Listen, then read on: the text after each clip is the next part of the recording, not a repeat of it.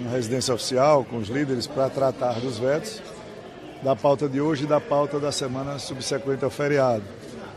E não nos chegava nenhuma informação formal de que seria suspensa e nem tampouco as notícias deixavam de circular que estaria sendo adiado.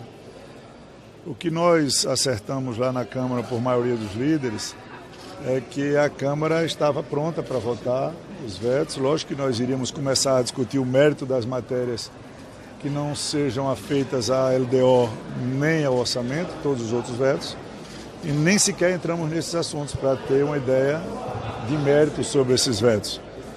É, falamos com o presidente Pacheco, que ficou de, de reunir com os líderes de governo no Congresso e nos dá uma posição. Eu estou chegando agora para outra reunião aqui na presidência com os líderes para entender é, se vamos ter hoje ou se só vamos ajustar as pautas de hoje e da semana subsequente ao feriado. Agora, eu penso que já houve tempo suficiente para que as bancadas maturem sobre os vetos e que se tive também a oportunidade de se discutir o governo e os partidos com relação ao mérito dos vetos.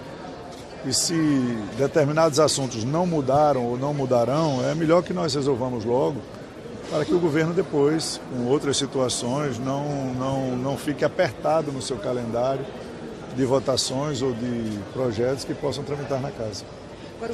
Como eu disse, se um assunto não houve mudanças durante duas ou três semanas já de adiamento, não quer dizer que ele vai ter daqui a mais duas semanas. Nós só vamos diminuir o tempo para que o governo possa se organizar com relação às pautas que virão, às necessidades que precisarão. Né? Nós somos um ano de eleição, é importante, por mais esforço que a gente tenha, nós esse ano teremos dois 31 de dezembro. Nós teremos um 31 de dezembro em junho e nós temos um 31 de dezembro em dezembro.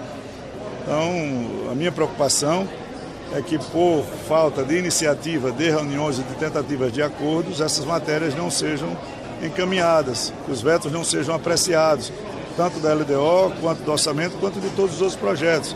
Nós já tivemos dois adiamentos. Esse terceiro, qual é a garantia que fica aqui no quarto, a partir do dia 6 de maio, nós não teremos. Essa foi o final da reunião, com um apoio quase que unânime, dois ou três partidos é que preferiam, é, por questões diversas, não votar hoje.